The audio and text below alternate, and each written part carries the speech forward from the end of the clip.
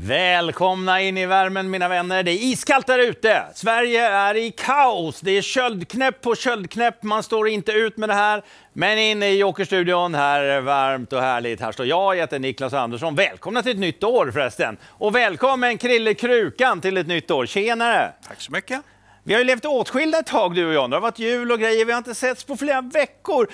Jag vet inte hur det känns för dig, men oh, vad det är skönt Nej, att du är här var, igen. Flickvännen sa det i morse när jag skulle gå hit. Jag var ju här halv åtta i morse. Mm, Ja, då frågade hon om, det var, om jag saknade henne eller dig mest. Det kan inte ha varit någon tvekan. Nej, Niklas var A-rankad och hon är C-rankad.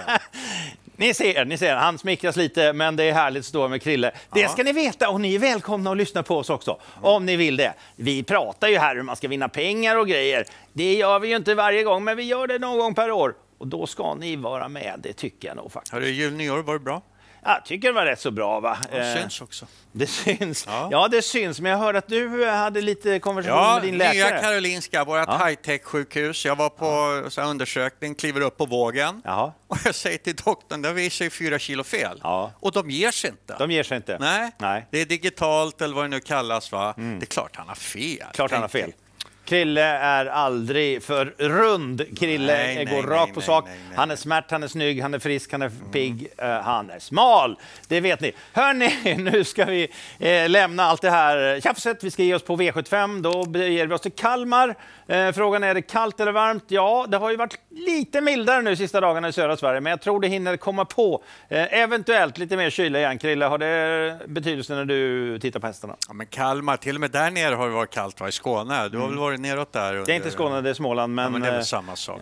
Sö söder om Norsborg. Ja, söder om Göteborg, Ja. det är Skåne. Mm. Nej, men det är väl klart. Kalmar är jättekänd för fantastiskt fin bana och underbart långt upplopp och kuskarna slipper ta med långkvalingar. Nej, kanske de har ändå, men det var ett par omgångar här jul Ja. nyår. Det var inte Nej, det var fruktansvärt roligt att titta på dem.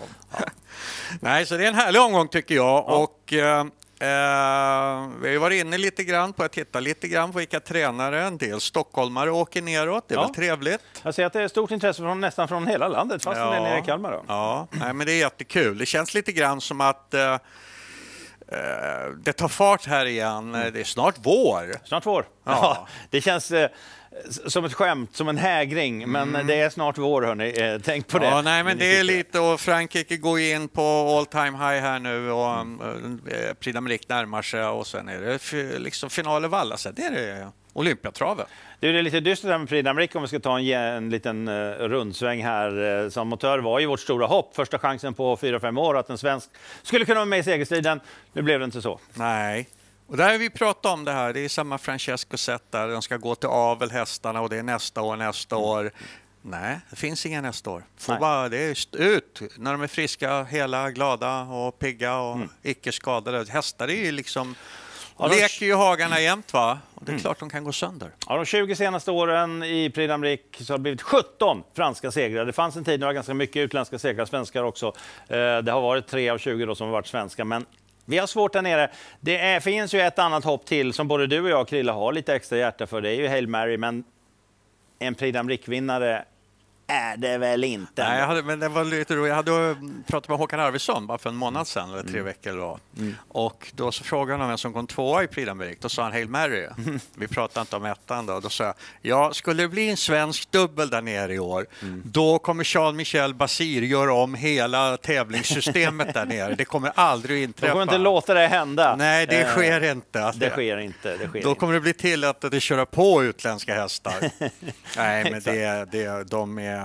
Vi hoppas lite, lite på Ja. Hail Mary, men vi tvivlar väl på att det är en Prix d'Amérique-vinnare om vi ska vara riktigt Ja, ärliga. men nu har han väl fått en av världens, eller Vincennes absolut bästa kuskar här Mm. nu framöver, Erik Raffin. Det är ju så, man petar ju Örjan, eller om Ör- Örjan möjligen petar sig själv, jag vet inte hur det gick till Nej, riktigt. det är Men... väl, men det är Erik Raffin, ingen bluff. Det är ingen bluff. Han, han vet hur man kör på Vincennes, det kan vi Ja, överens om. Eh, nu ska vi titta på den kommande omgången. I rutan inom någon sekund så kommer det smälla till och då har ni ranken uppe. Där är den, som ett trolleri. Eh, Krille, du inleder året med en spik eh, och är det då en stor favorit som alla andra har? Nej, det är det inte. Hästen är knapp favorit i sitt... Nej, den är inte ens favorit i sitt lopp. Men du tror att Here's Johnny Socks kommer att vinna V756? Ja, att det ska upp en favoritspik, då får det gå några år till tills man är döende nästan. Nej då. Eh, jag tycker inte det finns någon särskilt stor favorit i omgången. Eh, 40 procent där Maybe Yale. Det är ju ingen Järvsöfax med i startlistan. Nej, det är inte. Och det är väl jätteintressant. Nej, men den här Here's Johnny Socks, han har ju varit något så otroligt bra. Mm. Jag vet inte, det, jag tyckte det var... Den enda som är lite, lite intressant här, det är den här Dr. Gio nummer fem som är hos Adrian. Adrian som hade en kanondecember. Och, Han har eh, året väldigt bra. Ja, jag vet inte riktigt. Det, jag hoppas det fortsätter eftersom jag gillar familjen Ludde. Fantastiskt bra. Men den här Here's Johnny Socks har ju bara Oavsett position, vagnar, mm. voltstartar, distanser så har han ju bara varit bäst. Han har sett väldigt bra ut en längre Nu är det ju. Lars Nilssons häst det här, men eh, man tittar på den här eh, Dr. Gio eh, som Kristoffer Eriksson kör åt Adrian så eh, han floppade väl inte i första starten, men eh, vi har ju sett den där andra han har gjort underverk med som kom från eh, Gocciadoro. Så det är väl den man är lite rädd för. Men jag tror helt enkelt att han bara vinner. Here's Johnny Socks har ju vunnit från uh, olika positioner också. Han har vunnit Mm. från spets, har vunnit bakifrån, verkar inte vara så känslig för det. Stefan Persson är ju en kusk som ofta går bra i början på året. Det är bra vintertid. Jaha. Eh, Eh, nej, men det... Hur man än vrider och vänder på det, är ett jättesvårt lopp. Eh, Ja, bricka 10 behöver inte betyda så där jättemycket på Kalmars långa upplopp. Nej, det gör Eh, 2-6, voltstart, eh, några hoppar bort sig. Mm. Nej, jag tycker det är ett streckspel. Tredje, fjärde utvändigt någonting. Ja. Eh, sen rasslar vi till sista 700. Ja. Here's Johnny Socks, 22 procent. Favorit i loppet blir väl förmodligen Johan Untersteiner med Winner Brodde, nummer 8. Eh, den väljer du bort. Ja, eh, Johan och de som också levererade 2023 här, eh, det är fantastiskt. Ja, va? hade ett bra år hela året. Avslutade ju fantastiskt också. Ja, men- men det var ju tack vare att han utnyttjade sin äldre pappa. ja exakt. Det har vi varit inne på Det har vi varit förut. inne på förut. Nej då, men ja, jag, jag, går på strecken här. Here's Johnny Sock, 22 procent. Jag tycker det är kanonbra. Mm. Eh, olösligt lopp. Triton är bra. Mm. Eh, Dr. Gio kan vara bra. Winnie Brodde, men det spelar ingen roll.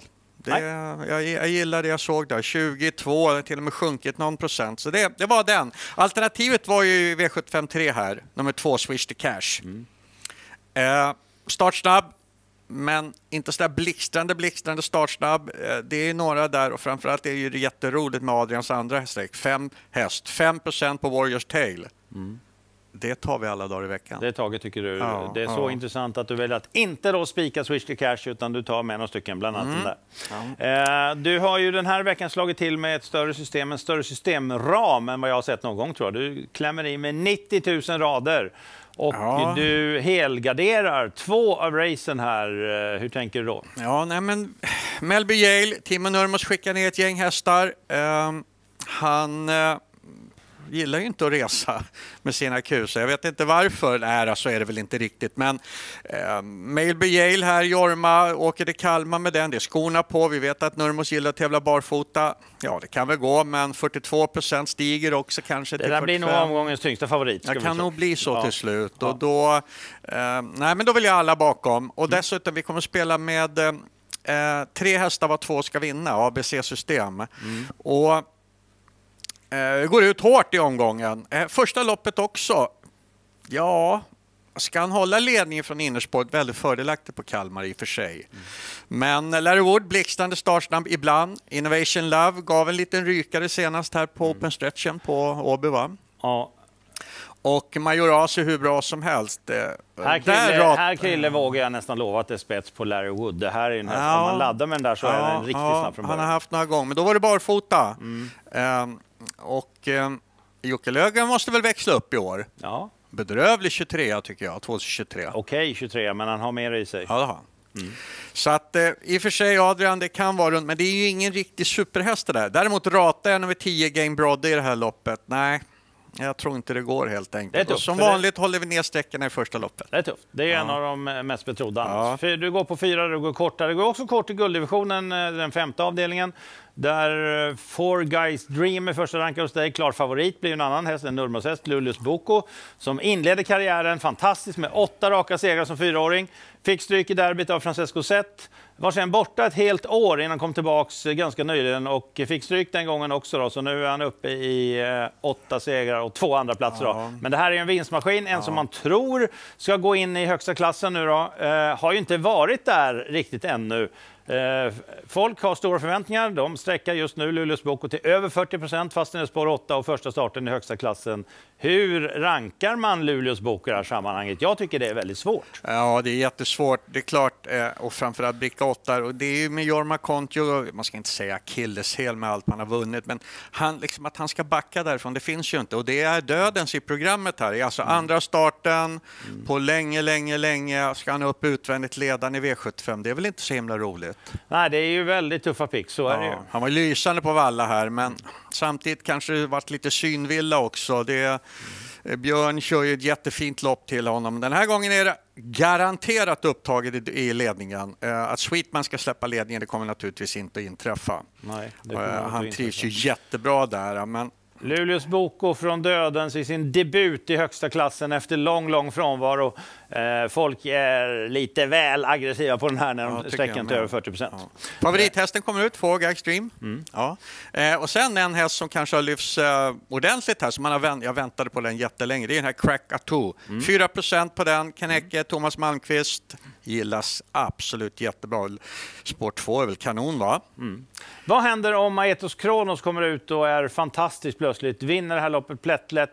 Eh, där har det ju pratats Pridam Rick, men eh, det är väl inte realistiskt?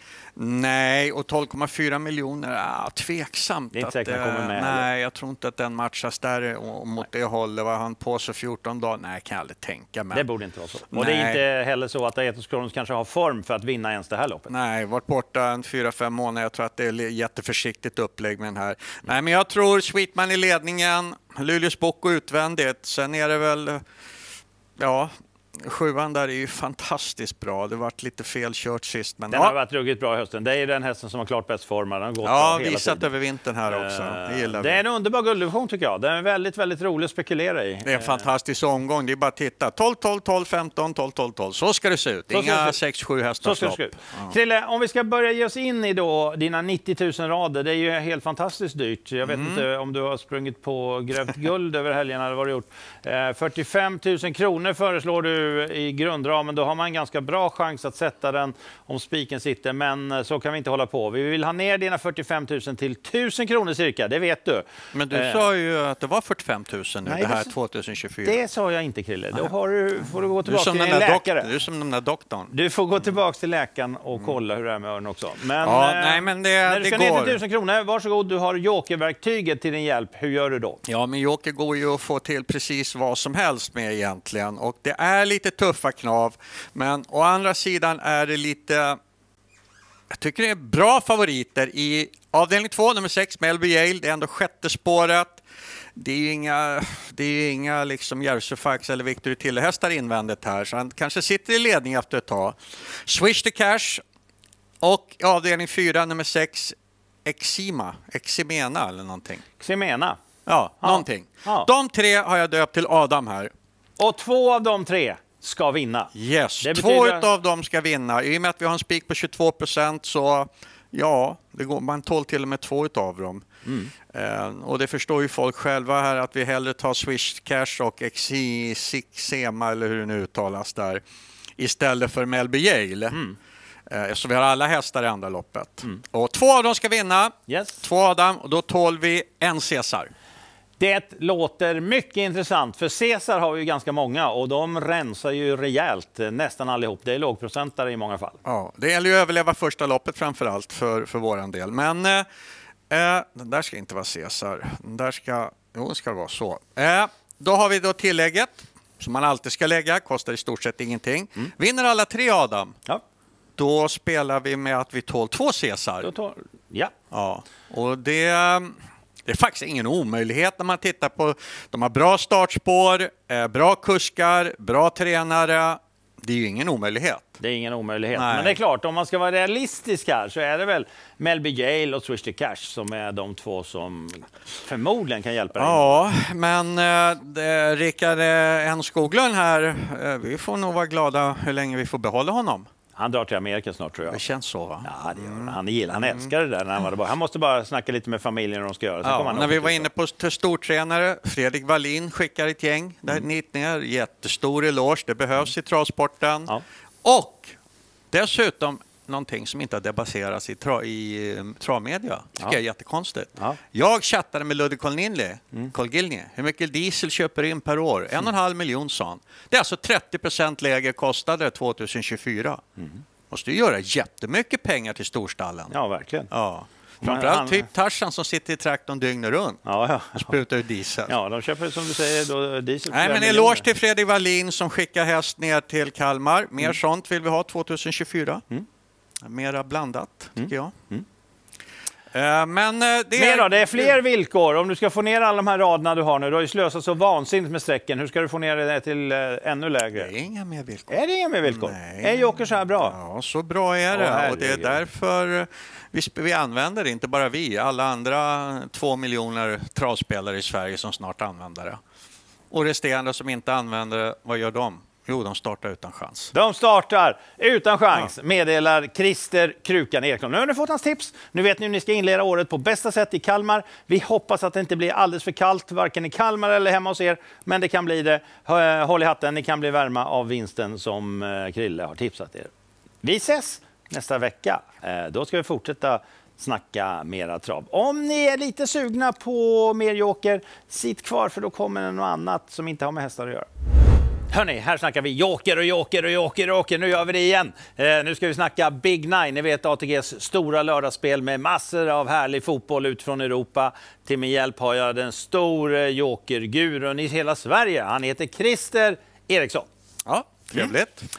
Du gillar ju hästar, men du gillar ju i allra högsta grad också fotboll. Ja, fotboll slår allt. Fotboll slår allt. fotboll Egentligen slår är det så att fotboll Ja, slår det allt. gör det. Det är vi ganska överens om. Fotboll- Världens största idrott. Världens största idrott, fotboll slår allt. Eh, ni vet Big Nine, eh, hur man ska då s- spela nio matcher på lördagar, europeiska fotbollsmatcher och så har man ett wildcard, man får räkna bort en av dem och så ska man dessutom säga om det blir många mål eller inte i matchen. Eh, vi tar upp den här veckans Big Nine-kupong då, eller lördagens Big Nine-kupong, ibland är det flera under veckan. Tänkte på det. Tänk, vad skulle hända om de börsnoterade AB Fotboll? AB Fotboll. Det skulle ju vara ett av världens största Så företag. skulle det vara. Så Alltså, det är fyra miljarder tittare på VM-finalen. Det är Nej, så, stort det så att Det är ju en av världens största företeelser, Ja, även ja, ur näringssynpunkt. ja, Eh, nu blir vi väldigt högtravande här, hörni. Ja, nu går vi istället in på Big Nine-kupongen. Vi ser att det finns en enda Premier League-match den här veckan. De har spritt ut sina sp- de spelar nu också, men de har spritt ut dem på massa olika dagar. Så på lördag är det bara två matcher och det är bara en av dem som spelas vid rätt tid. Och den väljer Krille bort. Han eh, spelar ut sitt wildcard här, så vi ska inte ens tippa den här matchen. Varför då? Nej, men Alexander Isak, vi har ju våra hjärtan där, va? svartgul som han har varit en gång i tiden. Och Newcastle hemma är väl inte, även om Kevin De Bruyne nu spelar igen, i, nu är de helt ordinarie, Manchester City, och de behöver verkligen det. Vad har de? 6-7 poäng till Liverpool? Sex. Ja, det börjar bli en lucka där nu. Ja, och det är inte det lättaste. Så att, eh, det är klart, borta mot Newcastle, det är väl en mardröm. Newcastle har ju en av de mest heta och mest fanatiska publikanhängarna i hela landet. De Ja. ligger längst upp norr, där det är en lång resa för alla dit. Svårt att möta Newcastle borta. Jag vet en gammal idol till mig, Didier Drogba, varit intervjuad av BBC en gång och jag var, då frågade de just det, vilken är värsta bortamatchen i PL? Och alla var ju övertygade om att det skulle bli i Liverpool. Nej, nej, nej. Newcastle. St. James' Park, Ja. Newcastle, en gammal mardrömsdestination för många. Vi väljer bort den matchen. Vi öppnar därmed lite grann upp får man ju säga för Newcastles skräll. Det är det man fiskar Ja, det efter vill vi ha. när man lägger ett wildcard här. Man säger vi litar inte riktigt på City, City utan Haaland, City lite pressade. Eh, Det kan bli så att Newcastles publik eh, bär hem en eller annan Kryss i poäng. alla fall. Ja, kryss i alla fall. Ja. I alla fall ett kryss. Eh, Men vi måste- lirar vår italienska under kryssmatchen. Den satt ju i lördags. Ja, att, eh, satt ju ja. ja. Du fick in ditt 1-1 där 1-1. på den italienska ja, Det står väl skrivet den här gången också. Verona, Hellas mot Empoli. Varje gång så tar Krille ett kryss och eh, i samma match då under 2,5. Det vill säga han påstår att det är en match utan 0 eller 1-1. Väldigt ofta vänder du det till Italien och det Ja. gör du den här gången också. Ja. Ja, men det är ju liksom klassiskt där borta. Det är ju känt för det. De Det är känt för det. De det är är, ju inte som i Spanien Nej. eller i England, öser in mål där, utan det, de, De är gillar snåla att och de hålla är fega. Och nu är det två bottenlag, eller två lag som i alla fall har som enda målsättning att klara sig kvar i ligan. Det är Ja. klart att det är väldigt, väldigt stor risk Ja. att de eh, står där och... 31 procent på krysset och eh, du ser ju här under eh, 2,5 mål, alltså 72 procent. Det är nästan Järvsöfack-streck på den. Ja, det är, det är tufft. Så att det är inte bara vi som tror på det. Nej. men det är första spiken, absolut. Ett kryss på den matchen vill vi ha.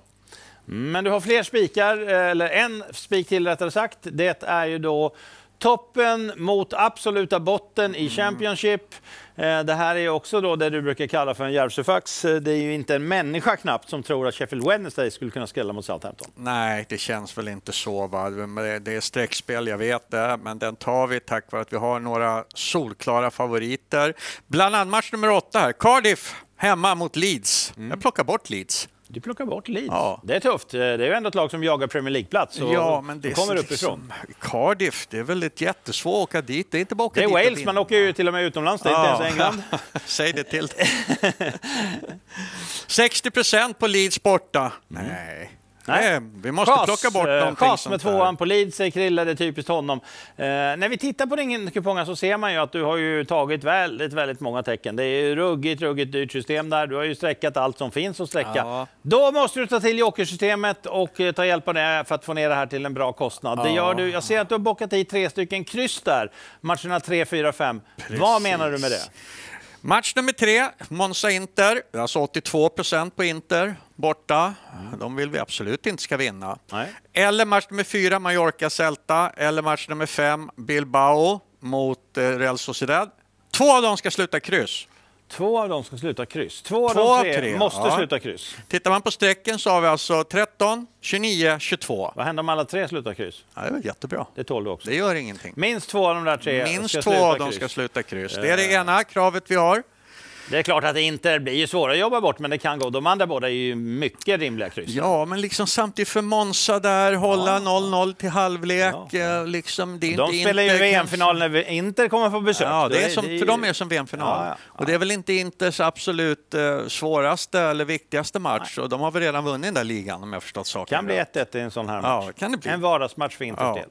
Men däremot så i de övriga matcherna, jag har väl börjat inse lite grann att i Europa sprutas det in fotbollsmål. Ja, i Europa är de väldigt positiva, många mm. lag ändå. Förutom, men i Monza Inter, eh, Mallorca Celta, eh, Atletico Bilbao Sociedad, Betis Granada och match nummer åtta, Cardiff Leeds. Det är alltså en, två, tre, fyra, fem matcher. Ja. Ja, tre av dem ska sluta över 2,5 mål. Tre av dem ska bli målrika. Det tycker jag, Krille, spontant från magen så här, inte låter så farligt tufft. Det tror jag väl att det är de väl blir. nästan, det är väl ja, ganska ja. rimligt att de blir det. Hade det varit bara Premier League-matcher, ja då hade det väl nästan varit bombsäkert. Det bombsäkert. Nu är det en Men i Spanien gör de också mycket mål. Ja, det är Italien, det är Spanien och det är en engelsk Championship. Och du säger tre av de där fem ska bli målrika.